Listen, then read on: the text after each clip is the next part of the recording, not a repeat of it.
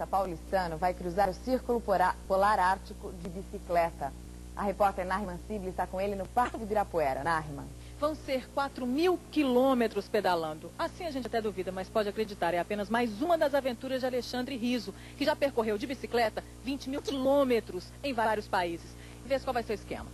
Olha, a gente está indo para a capital da Noruega, em Oslo, começamos a pedalar em direção ao litoral e vou seguindo pela rota do Atlântico Norte até cruzar o Círculo Polar Ártico e atingir o ponto extremo norte do continente europeu.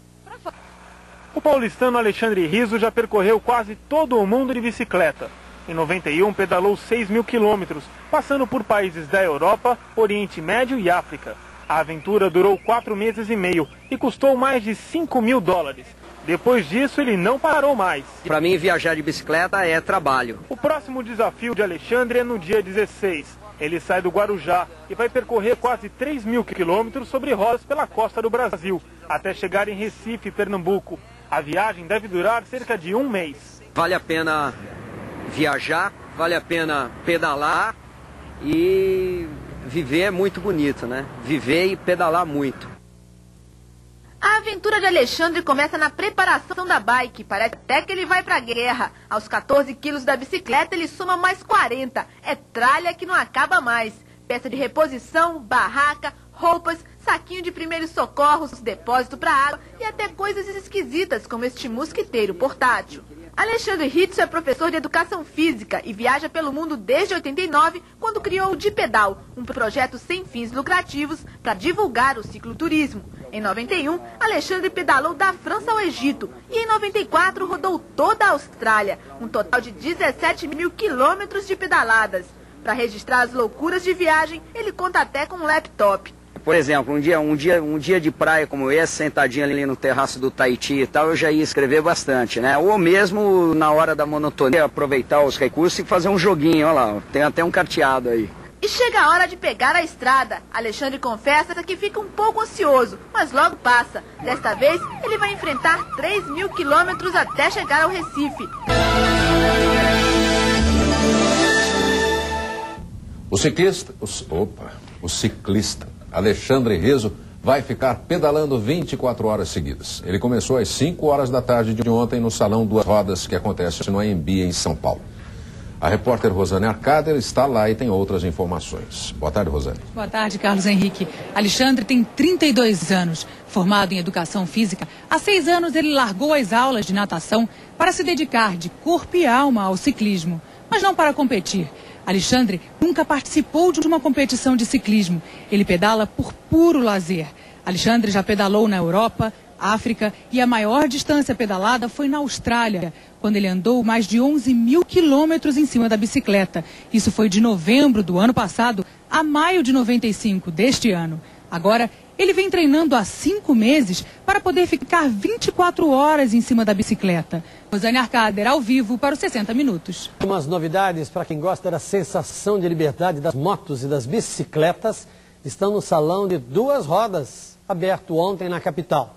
A repórter Narman Sibley fala ao vivo do AMB na zona norte da cidade. E a feira também traz uma atração, novidade, uma maratona.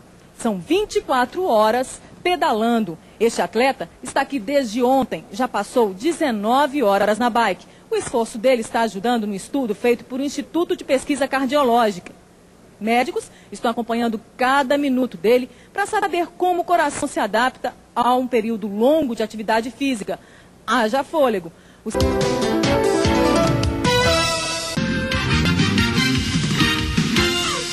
Vocação no Mundial. Quem é que não gosta de um passeio de bicicleta? Mas um brasileiro pode ser considerado um fanático pelas magrelas. Afinal, não é todo mundo que consegue pedalar 24 horas sem parar. Batimentos cardíacos normais, pressão normal, tudo pronto para o início do desafio. Alexandre Riso, 32 anos, decidiu pedalar um dia e uma noite sem parar. Parece pouco para quem já cruzou a Austrália, a Europa e a África pedalando. Foram 11 mil quilômetros só em território australiano. Agora a paisagem é outra. Um estande pequeno com dezenas de curiosos por perto. Até pelo telefone, Alexandre recebeu mensagens de apoio. 24 horas de pedal representam aproximadamente 700 quilômetros. Alexandre conseguiu. Nos segundos finais, a emoção de quem venceu o desafio com garra e força de vontade.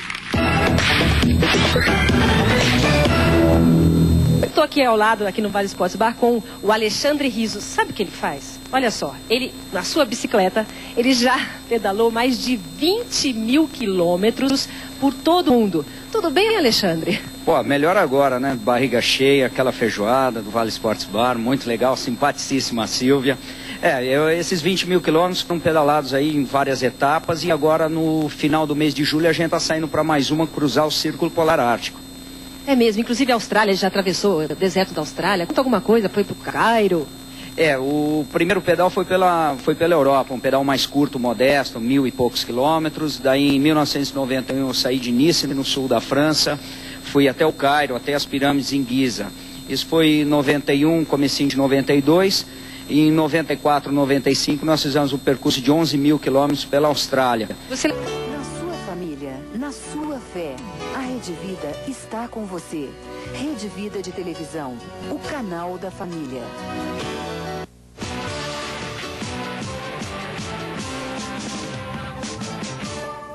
De volta com convocação geral, agora com entrevista pela Rede Vida de Televisão. Eu estou recebendo o Alexandre Riso, que faz cicloturismo. Boa noite, Riso. Tudo bem? Boa noite, tudo bom. O que, que é o cicloturismo? Olha, o cicloturismo é uma prática que é, envolve aí um esporte e o turismo, né? Ela, você pedalando, você se locomove por é, diversas cidades, estados ou até mesmo outros países. Então, o cicloturismo é uma prática que é, combina é, de uma forma muito interessante o esporte com o turismo, é, que eu gosto de lembrar sempre que define bem aí uma, uma posição única, que é combinar uh, o, o, despertar o interesse das pessoas pelo turismo de uma forma saudável e lembrar sempre do lado cultural e o educativo.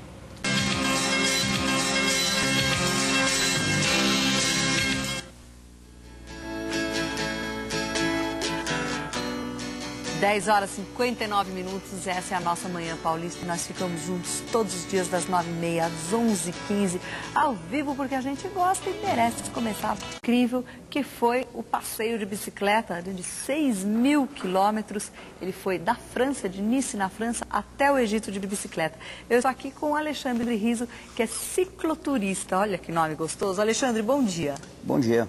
E o dia que eu comprei a bicicleta, eu falei, poxa vida, tá aí. Vai ser de vai ser de bicicleta essa viagem. E daí para frente foram dois anos de preparação. Ah, bom, você teve uma preparação legal, então. É, eu digo preparação em termos é, financeiros, em informações, qual seria o melhor caminho para chegar até a África. Eu tinha ideia de ir até o Quênia, né? E você levou quanto tempo para chegar lá? Olha, da, de Nice até o, o Cairo, até Giza, né, que é um subúrbio, eu levei aproximadamente quatro meses e meio.